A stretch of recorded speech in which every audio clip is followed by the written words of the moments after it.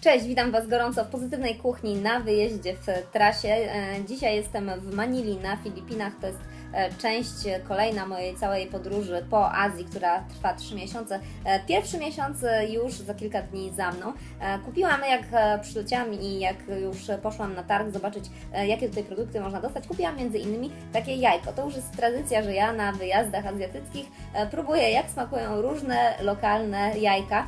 Filipińskie jajka e, to są jajka, które są w takim pięknym buraczkowym kolorze i nazywają się salty eggs, czyli słone jajka. E, nie wiem jak są wytwarzane, ale sprawdzę i na pewno e, we wpisie na blogu będzie to opisane.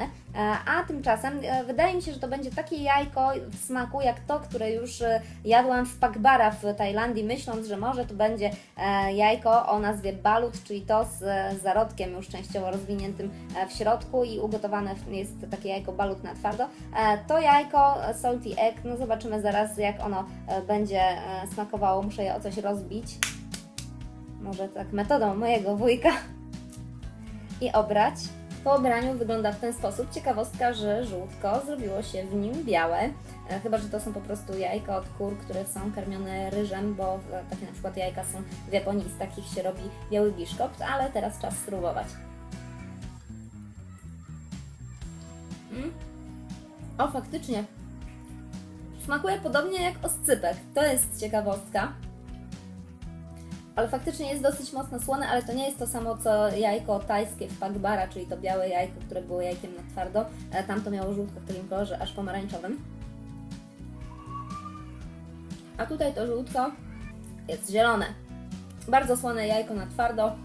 Nic jakiegoś strasznego w nim nie ma.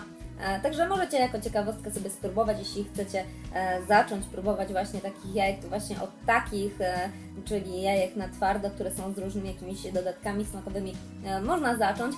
Ja mam nadzieję, że uda mi się jakichś innych jeszcze smaków tutaj w Azji, różnych jajek spróbować, ciekawych.